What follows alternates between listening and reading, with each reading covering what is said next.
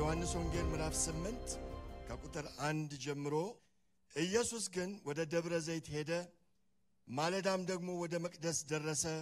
ሕዝቡም ሁሉ ወደ እሱ መጡ፣ ተቀምጦም ያስተምራቸው ነበረ። ጻፎችና ፈሪሳውያን በምንዝር የተያዘች ሴት ወደ እሱ አመጡ።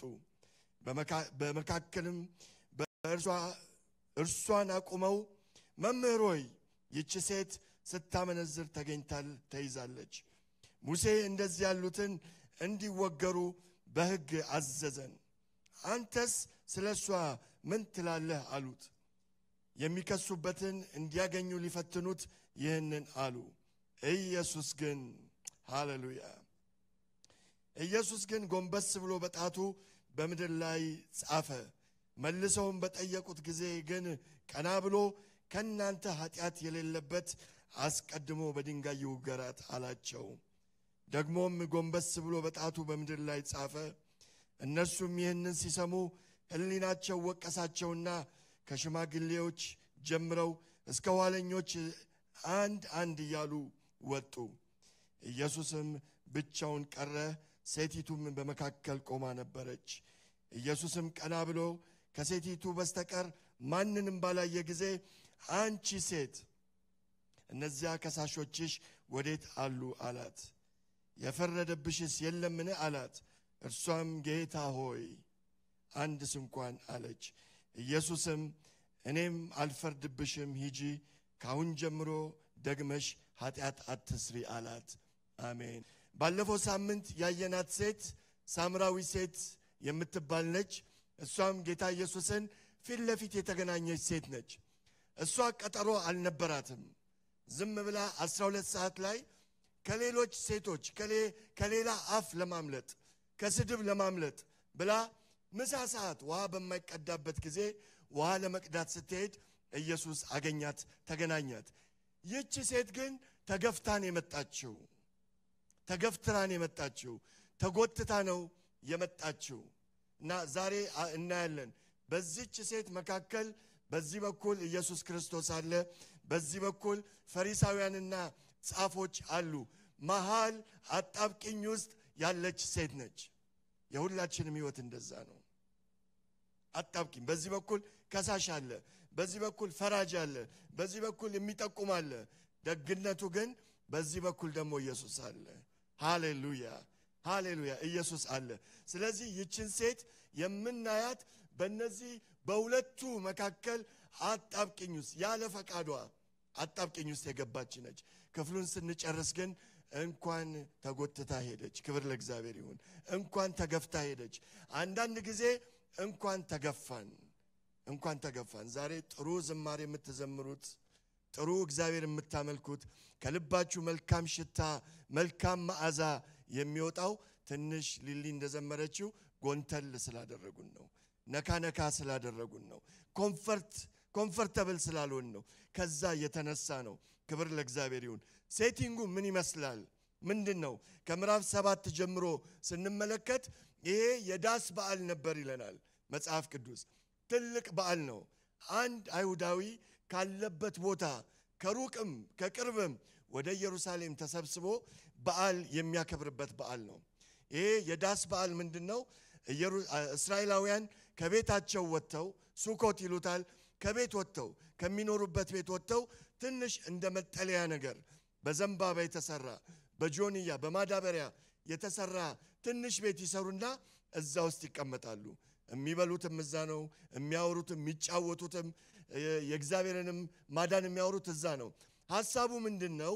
በምድረ በዳ እግዚአብሔር አወጣን፣ አዳነን አዳነን በድንኳን መራን ብለው የእግዚአብሔርን ምሕረትና ቸርነት የሚያስቡበት ጊዜ ነው። በዚህ ቀን ሁለት ትልልቅ ነገሮች ይሆናሉ። አንዱ ትልቁ ነገር ውሃ ነው። ያው ከአለት ላይ ውሃን ያጠጣቸውን ጌታ የሚያስቡበት ጊዜ ነው። ለዚህ ነው ጌታም ያለው እኔ የሕይወት ምንጭ ነኝ፣ የሕይወት ውሃ ነኝ ብሎ ያወጀው በዚህ ቀን ነው።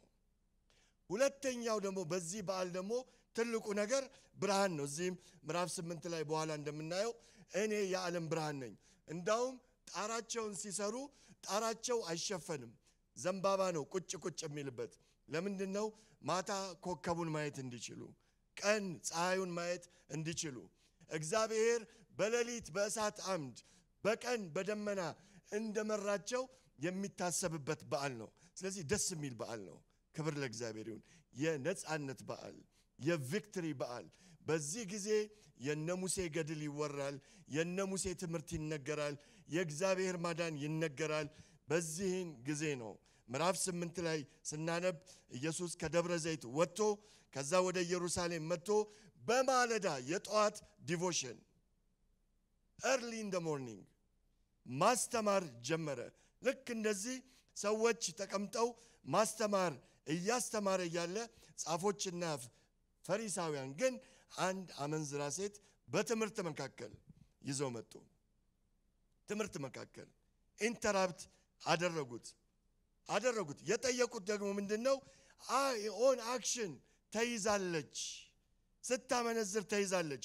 ምናልባት ባል ያላት የታጨች ወይ ደግሞ ከሌላ ከታጨ ሰው ጋር የሆነች ይመስላል። ምክንያቱም ተይዛለች፣ አሁን ነው የያዝናት፣ ይዘናት መጥተናል ብለው ይነግራሉ። መጀመሪያ የምናየው ነገር ይሄ ፍርዱ ራሱ የተጣመመ ፍርድ ነው። ሰውየው የት አለ? እንግዲህ ሁለት ነው የሚያስፈልገው። ፈረንጆች እዚህ takes two to dance ነው የሚሉት tango። ሁለት የት አለ ሰውየው? እንግዲህ ሮጦ አምልጦ ሊሆን ይችላል፣ ወይ ዘመድ ያለው ሊሆን ይችላል፣ ወይንም ደግሞ ማን ያውቃል ከፈሪሳውያንም ጋር ተባባሪ ሊሆን ይችላል። ቀላሉ victim ግን እሷ ነች። ቀላሉ victim እሷ ነች። አንድ ጸሐፊ ሲጽፍ ምንድን ያሉት አንበሳን ለመያዝ ልክ ሰዎች ፍየል እንደሚያስሩ ኢየሱስን ለመያዝ የታሰረች ፍየል ነው። nobody cares ስለ እሷ nobody cares። ዘዳግም 22 እንደዚህ ይላል፣ ማናቸውም ሰው ማንኛውም ሰው 22 22 ከሌላ ሰው ሚስት ጋር ተኝቶ ቢገኝ አመንዝራውና አመንዝራይቱ ሁለቱም ይሙቱ፣ እንዲሁ ክፉን ነገር ከእስራኤል ታጸዳላችሁ ይላል። ስለዚህ ገና ስታዩት ይሄ ፍርደ ገምድል ነው፣ ፍርደ ገምድል ነው። እሱ የለም እሷ ብቻ ነው የመጣችው። ስለዚህ ትክክለኛ አይደለም። ምስክር በአንድ ወይንም ደግሞ በሁለት ይጸናል። ይቺ ሴት ግን ብቻዋን ነው የመጣችው። እነዚህ ፈሪሳውያን ይህንን ያውቃሉ ያውቃሉ ስርዓቱን። እንደውም እዚህ ላይ ጻፎች የምንላቸው ሰዎች እናያለን።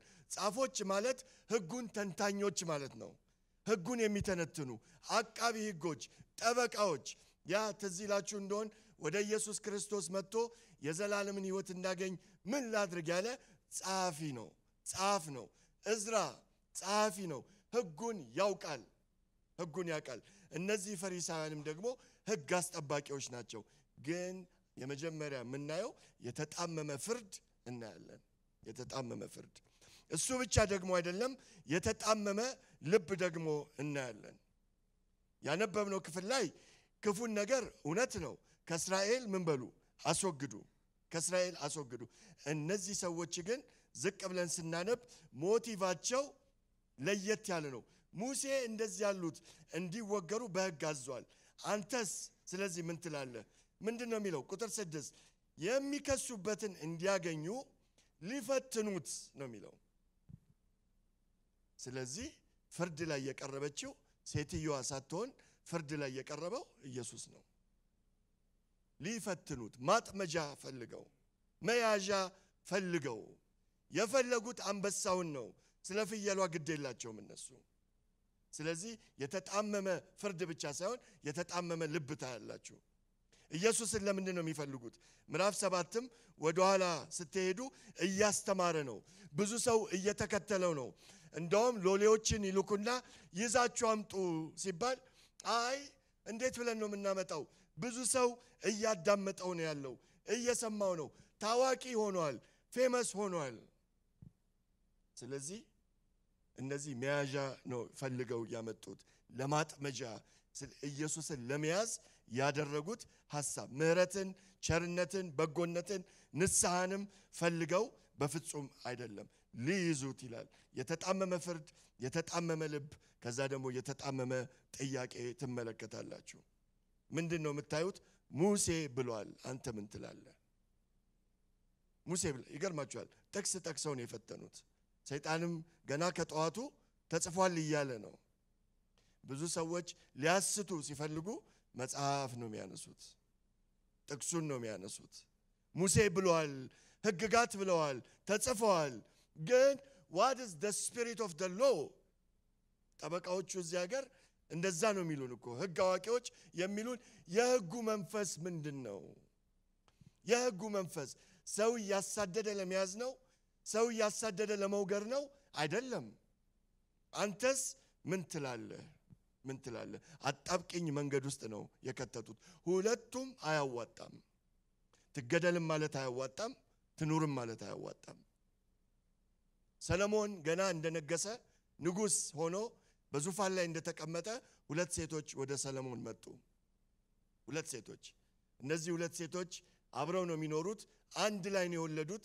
ከዛ አንደኛዋ ተኝታ ልጇ ላይ ተኝታበት ልጇን ትገለዋለች። ከዛ ጠዋት ከመንጋቱ በፊት ትሄድና ትቀይራለች። ያልሞተውን ልጅ ለዚች ለሷ የሞተውን ለዛ ትሰጥና ተመልሳ እንቅልፏ ላይ ትተኛለች። ይቺ ጤነኛ ልጅ የነበራት ልጄን ለማጥባት ትላለች። ጠዋት ተነስታ ልጅ ለማጥባት ስትል የምታጠባው ልጅ ለካ በድን ነው። በዛን ጊዜ ዲኤንኤ የለ፣ መመርመሪያ የለ፣ ምን የለ። መቼስ ወይ birthmark ይኖራል፣ ወይ ሽታውን ታውቀዋለች፣ ወይ ልጁ የሆነ ብቻ እናት እናት ነች ታውቃለች። አረ ልጄ ብላ ወስደሻል፣ አልወሰድኩም፣ ያንቺ የሞተው ነው፣ አይ ያንቺ ነው ሲባባሉ ንጉሥ ጋር መሄድ አለብን ተባለ።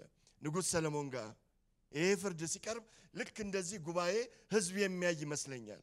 ቁጭ ብለው ያሉ ንጉሱ ይሄ አዲስ ንጉሥ እንዴት ነው የሚፈርደው? እንዴት ነው የሚፈርደው?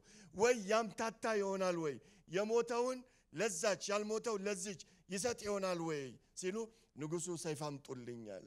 ቢላ አምጡልኝ። በጣም ቀላል ነው። ይህን ልጅ በህይወት ያለውን ለሁለት እንገምሰውና ግማሽ ግማሽ እቤት ይዛችሁ ትሄዳላችሁ አላቸው። የወለደ አይችልም። ያቺ እውነተኛ እናት ኖ ልጄን ግድ የለም ልጁን እሷ ትውሰዳለች።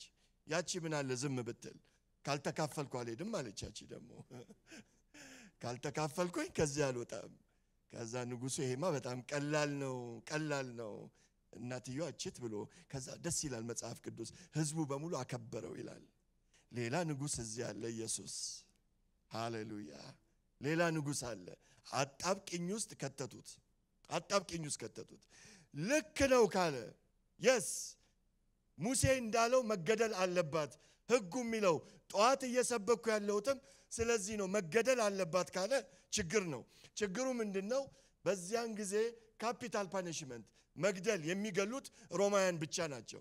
ለዚህ ነው ኢየሱስ ፈሪሳውያን ቢፈርዱበትም እነ ጴጥሮስ እነ ይሁዳ ቢክዱትም ያንን ሚስማርና መዶሻ ማንሳት የሚችሉ ሮማውያን ብቻ ናቸው። እነሱ ብቻ ናቸው። ስለዚህ ትገደል ካለ እዛ ድንጋይ የያዘ ህዝብ ነው ያለው። ይወግሯትና ምን ነው ገደላችሁ ሲል እሱ ነው ያለው ሊሉ ነው።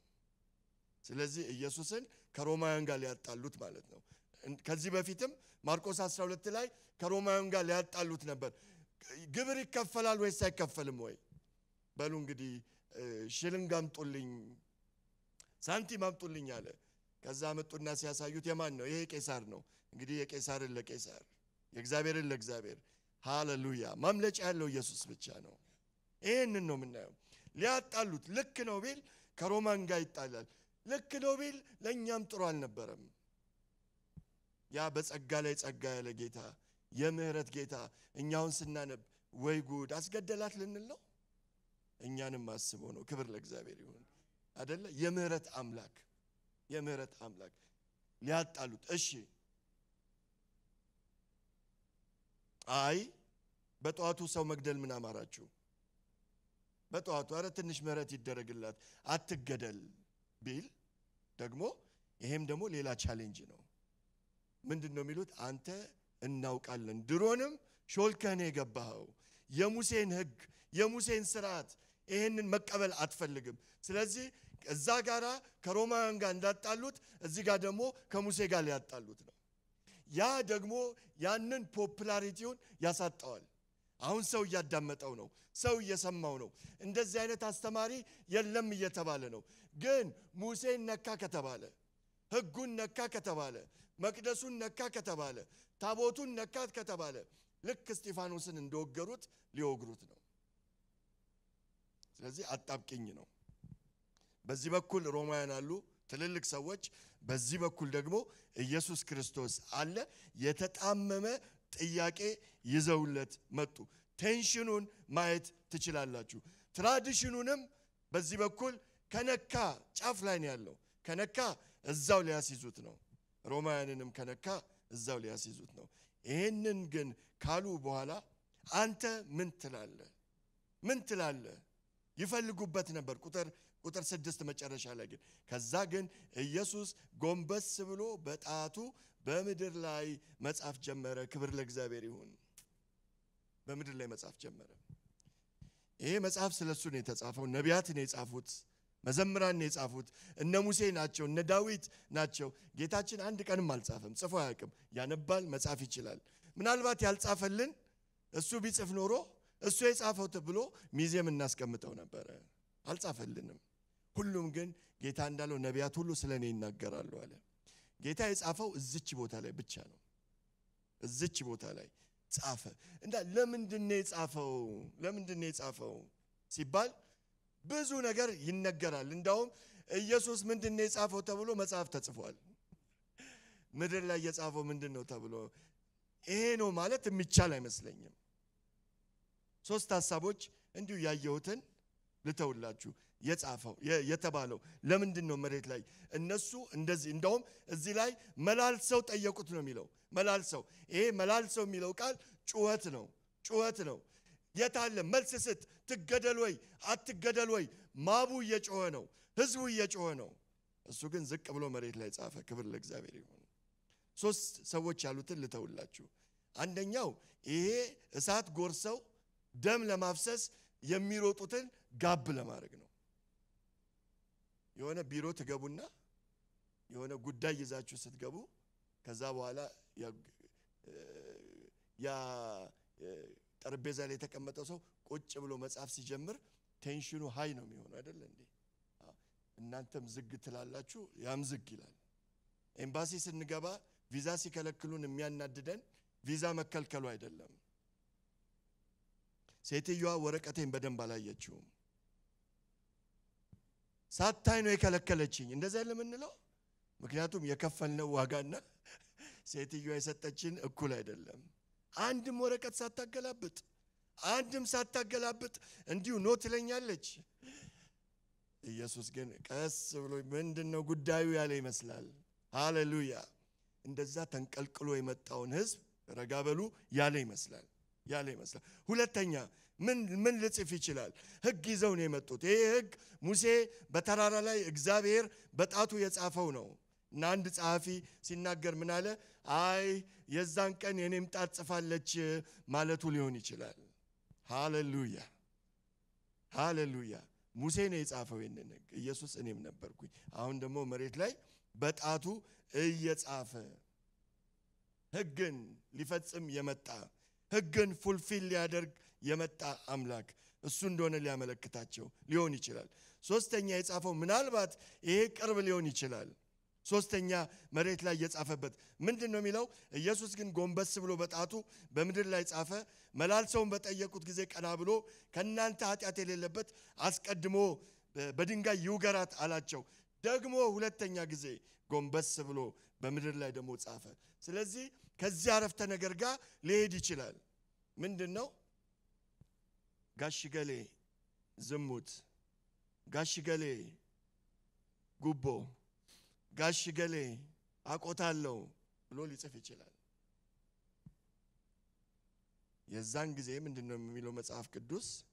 ዝቅ ብሎ ጻፈና ሁሉም ተራ በተራ እየሄዱ ሁሉም ተራ በተራ ምናልባት ሰዎቹን ስማቸውን እገሌን ከገሌ ጋር እገሌን ከንትን ጋር እያገናኘ ጽፎ ሊሆን ይችላል።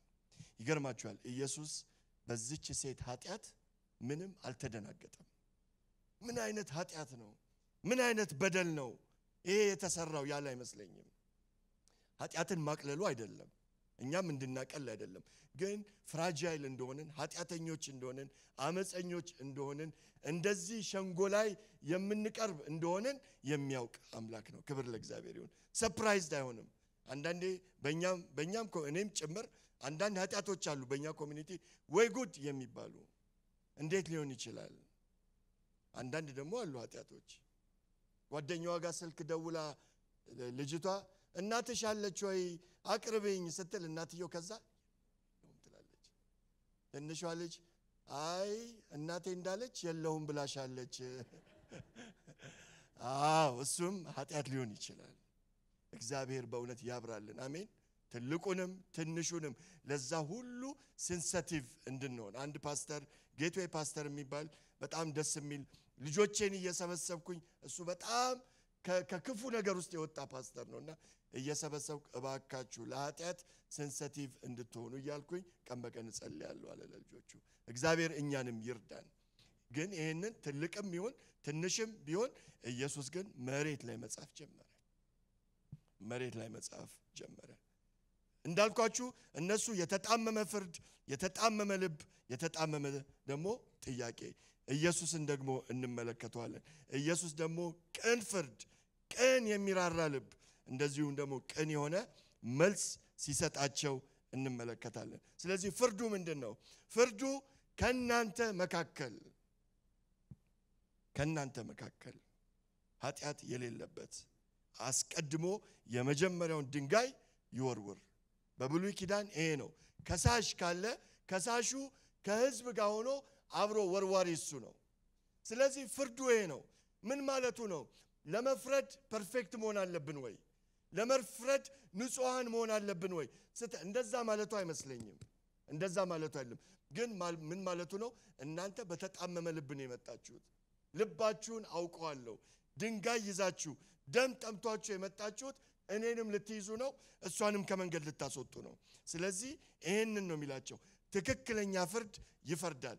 ማንም ኃጢአት የሌለበት ማንም ኃጢአት የሌለበት ከእናንተ ምን ይበል ይወርውር። ይሄ ነው ቅን ፍርድ ማለት። እሱ ብቻ ደግሞ አይደለም፣ ደግሞ ቅን ልብ ደግሞ ታዩበታላችሁ።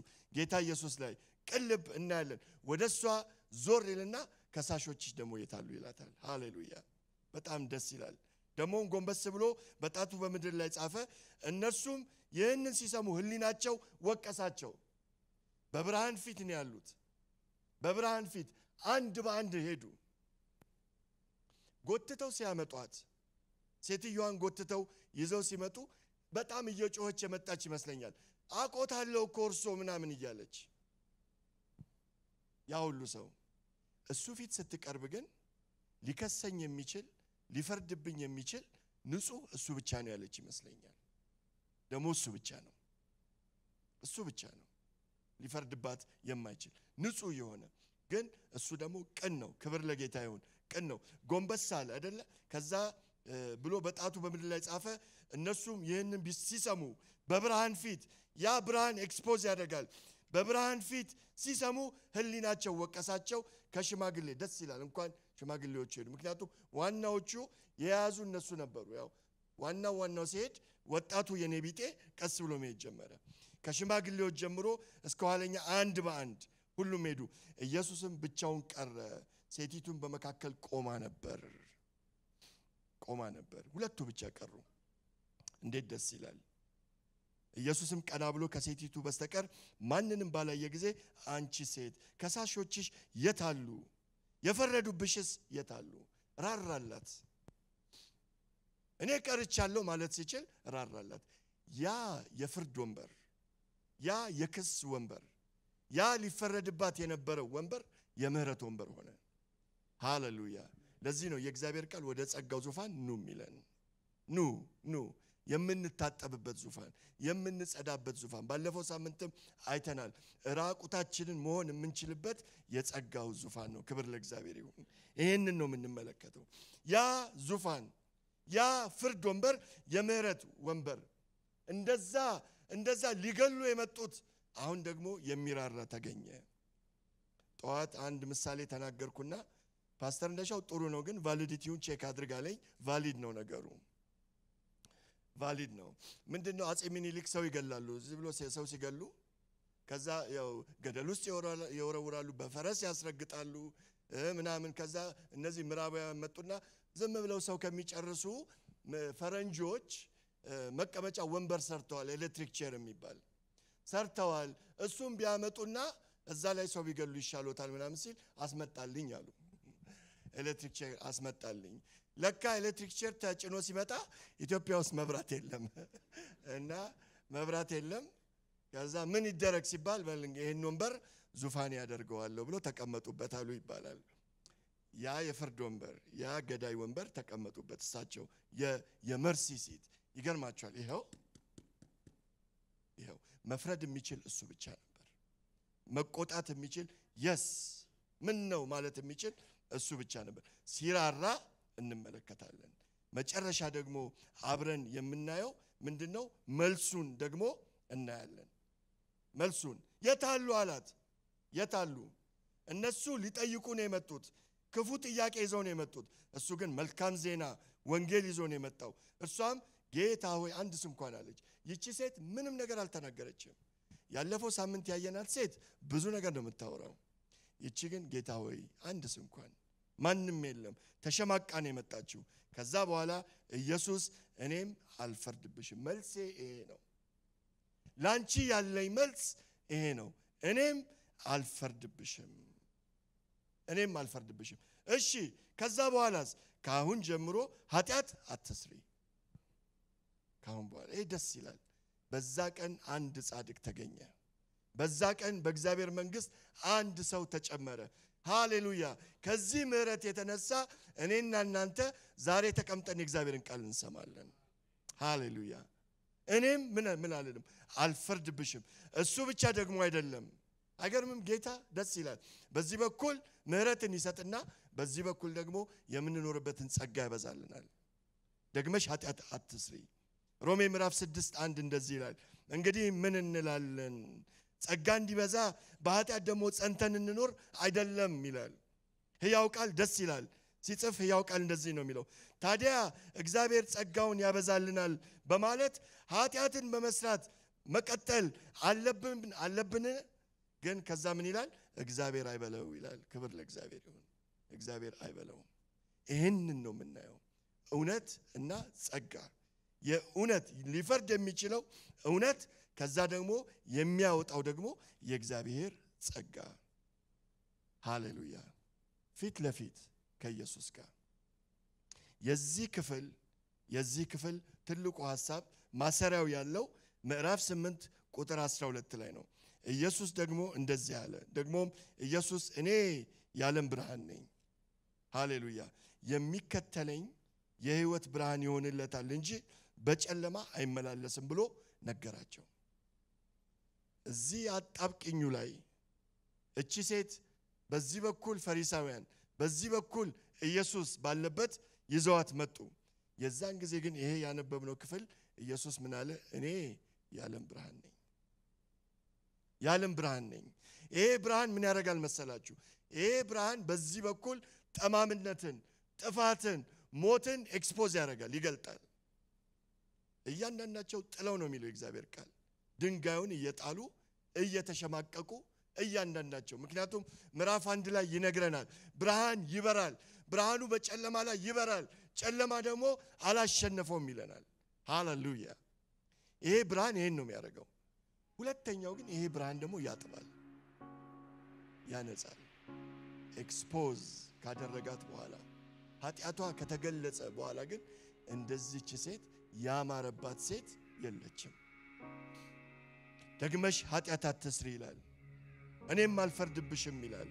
ይሄ ብርሃን ሲበራ ተመልሶ እኛን ደግሞ ያበረታናል። ክብር ለእግዚአብሔር ይሁን።